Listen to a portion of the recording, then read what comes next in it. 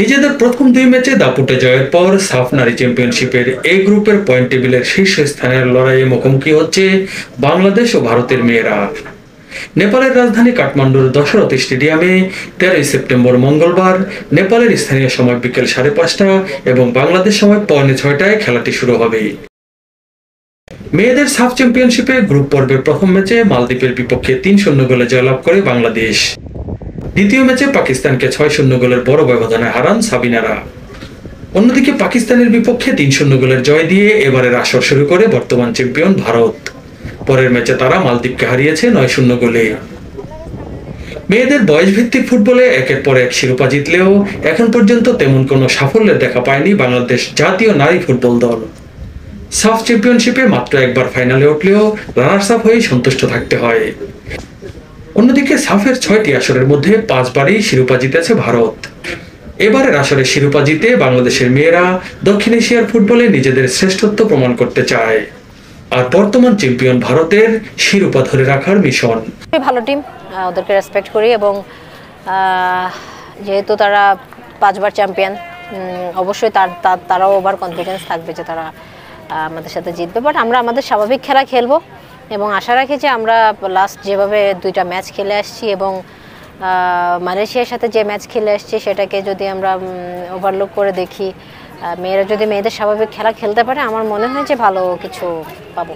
যেহেতু একটা ভালো দিক যে সেমিফাইনালে চলে গেছি এবং ভারতের সাথে ভালো খেললে ফাইনালেরও একটা ভালো সুযোগ থাকবে। সো অবশ্যই যে দুইটা ম্যাচ খেলেছি ওখান থেকে যে ল্যাকিংসগুলো আছে সেগুলো নিয়ে আমরা কাজ করছি এবং আমি আশা রাখি যে আগামী ম্যাচটা আগামীকালকের ম্যাচে একটা কম্পিটিটিভ ম্যাচ সহ আমরা যেন ভালো রেজাল্ট নিয়ে ফিরতে পারি, সেই ইয়েই থাকবে আমাদের। বাংলাদেশ বনাম ভারতের মধ্যকার এই ম্যাচটি সামনে রেখে দেখে নিতে চাই দু দলের মুখোমুখি লড়াইয়ের অতীত রেকর্ড। এখন পর্যন্ত মোট দশবার মুখোমুখি হয়েছে বাংলাদেশ ও ভারতের জাতীয় নারী ফুটবল দল। এর মধ্যে মাত্র একটিতে ড্র করতে পেরেছে বাংলাদেশ। বাকি নয়টি ম্যাচেই জিতেছে ভারত।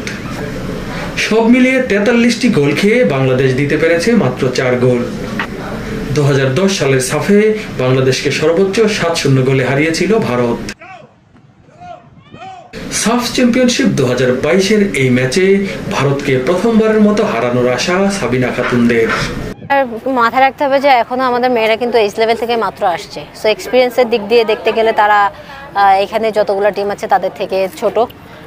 তবে আমি বলতে পারি এটা কনফিডেন্টলি যে যতগুলো টিম আছে সেখানে আমাদের মেয়েরা ফিজিক্যালি ফিট যেখানে একটা একটা দিকেই আমাদের ল্যাকিং সেটা হচ্ছে আমাদের এক্সপিরিয়েন্স সো আসলে মাঠের ভিতরে বলা যায় না, এই এক্সপিরিয়েন্স অনেক সময় অনেক ভালো কিছু দেয়।